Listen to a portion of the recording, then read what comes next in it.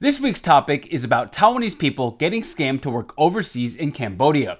Awfully specific, isn't it? Well, here's the thing it's been in the news a lot lately because more and more people are falling for these scams. And make no mistake, this is about human trafficking. Here's the gist of what's going on. Scammers will post false job ads online. They'll advertise high pay for little to no experience. Typically, they'll advertise more than twice the average salary in Taiwan for basic work like data input, maintenance, and low level administration.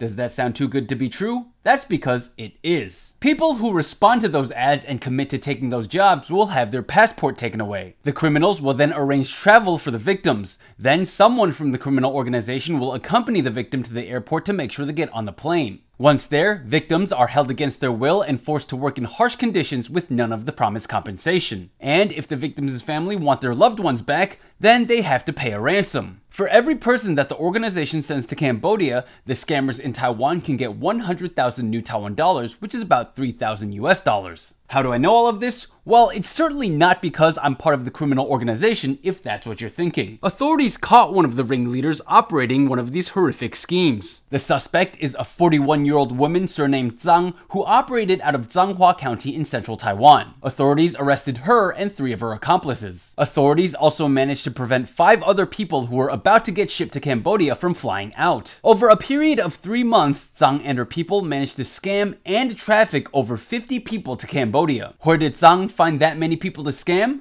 Social media. Her phony job ads were posted to Instagram and Facebook groups for job seekers. And I find that particularly chilling because social media has become a regular part of everyday life. Now, this is a show where we focus on what's happening online in Taiwan. I like to try and make it fun and interesting, but every once in a while we get these serious stories that act as a reminder that the internet can be a scary place. So, as a reminder, just remember to be careful and do your homework whenever you choose to interact with someone online you never met in real life.